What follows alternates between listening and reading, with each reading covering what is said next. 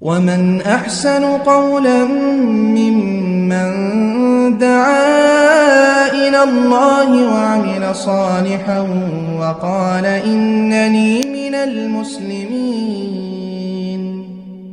ওয়ালাইকুম আসসালাম রহমতুল্লাহ বারকাত ভাই প্রশ্ন করেছেন দাড়ি রাখার বিধান কি এটা কি সুন্নাত না ফরজ না ওয়াজিব যে এ বিষয়ে সেই বুখারি কিতাবুল লিবাস অধ্যায় চার হাজার আটশো একানব্বই নব্বই বিরানব্বই তিরানব্বই পরপর কয়েকটি হাদিস বর্ণনা পাওয়া যায় যেখানে আল্লাহ রসুল বলেছেন, ইরফা লোহা কাশেফ সারেফ, যে তোমরা দায়টাকে ছেড়ে দাও আর গোপটাকে ছোট করো আর পুত্তলিক মুশরিক যারা আছে তাদের উল্টা কাজ করো।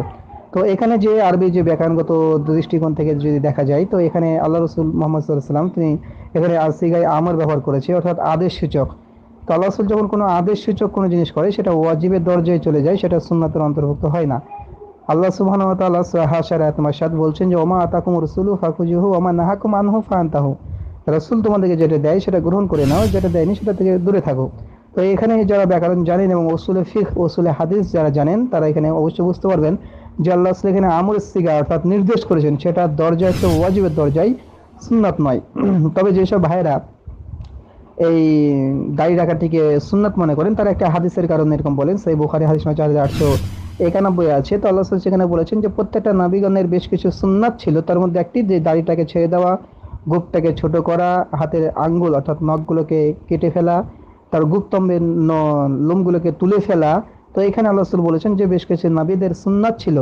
তো এই সুন্নাত অর্থ তারা আবিধানিক অর্থ নিয়েছে, কিন্তু এখানে আবিধানিক অর্থে আল্লাহ রাসূল এটা বলেনি এখানে সুন্নাত মানে প্রত্যেকটা নবী রসুলদের একটা রীতি ছিল, একটা নিয়ম ছিল। এই সুন্নাত অর্থ রীতি বা নিয়ম, কিন্তু তারা উসুলে ফিকরের ভাষা, পরিভাষা ব্যবহার না করে তারা এটাকে আবিধানিক অর্থ নিয়েছে। তবে আবিধানিক অর্থ নিয়ে একটি মারদুদ বাতিল। কেননা তার পরের হাদিস আল্লাহ রসুল বলছেন জেরিফা লোহা কাশের তারেক তোমরা দায়টাকে ছেড়ে দাও। এখানে আদেশ আদেশ যখন আল্লাহ রসুলের কখনো আসে, তখন ফিকে হানফি অনুসারেও সেটা ওয়াজিবের দরজায় চলে যায়। এর জন্য নুরুল আনোয়ার যেটা উসুলে ফিকের গ্রন্থ, তারা এই বিষয়ে তারা স্পষ্টভাবে আলোচনা করেছে, উসুল সাসিত আলোচনা করেছে। তো আল্লাহ এখানে নির্দেশ সূচক যখনই কোনো অব্যয় ব্যবহার হবে, কোনো বিশেষণ ব্যবহার হবে, সেক্ষেত্রে সেটা ওয়াজিব, ওয়াজিবের দরজায় চলে যায়। আর ওয়াজিব আর ফরজ এর মধ্যে এমন কিছু পার্থক্য নেই। এটা উনিশ আর বিশ। মানে ওয়াজিব যে জিনিসগুলো, সেটা ফরজের দরজায় চলে যায়, ফরজের নিকটবর্তী, সেটাকে বলা হয় উনিশ আর কুড়ি এমনটি। তবে সৌদি যারা আলেম আলিমা আছে, তাদের দৃষ্টিকোণ থেকে ওয়াজিব আর ফরজ এর মধ্যে কোনো পার্থক্য নেই। আসলে বিষয়টি স্পষ্ট হয়েছে। জাজাকাল্লাহ খায়ের।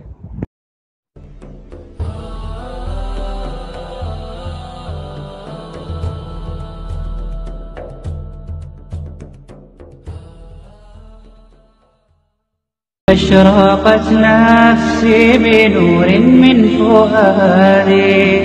حينما رددت يا رب العباد